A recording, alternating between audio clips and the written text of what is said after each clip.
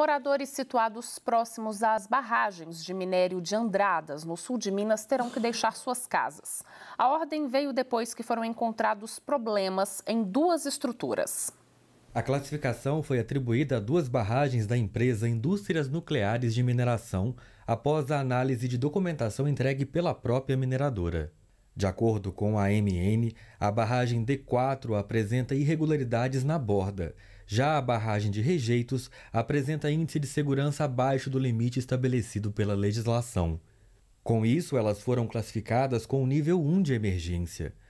Moradores de regiões próximas às instalações da mineradora já receberam notificação da Defesa Civil para deixarem suas casas. A notificação que me trouxe, na verdade, caiu como uma bomba na nossa cabeça, né? Pedindo que a gente tinha 90 dias para deixar, para evacuar daqui, deixar o local, sabe? Tem moradores, né? É o meu caso, né? É, eu não tenho para onde ir, eu, eu, eu, moro aqui. A Prefeitura de Andradas informou através de nota que a determinação da Defesa Civil se deve pelo plano de contingenciamento em razão da classificação de risco.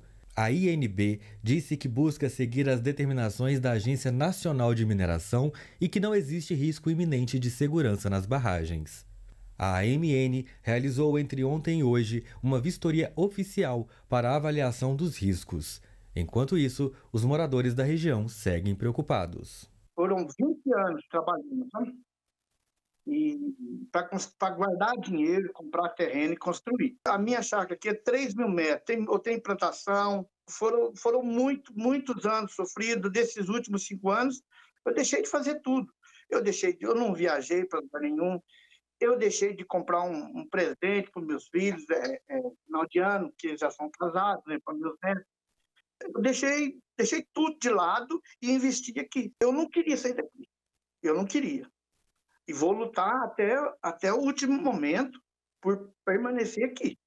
Agora, se, se o risco é real, se põe a minha vida em, e da minha esposa em jogo, vai fazer o quê? Mas eu vou para onde?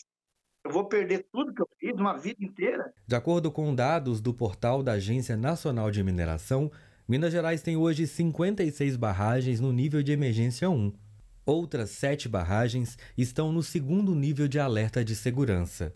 Três barragens são classificadas como críticas. Além disso, o estado tem em sua história dois rompimentos que tiraram a vida de várias pessoas e afetaram a de outras milhares.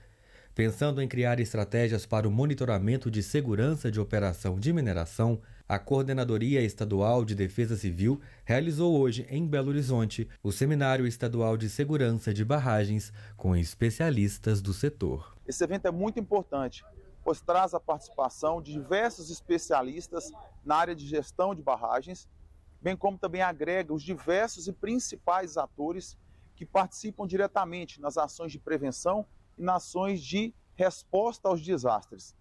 Sabemos que Minas Gerais possui um histórico de eventos com barragens e, portanto, é importante difundir todos os conhecimentos e fomentar as ações para a preservação e salvaguarda das pessoas.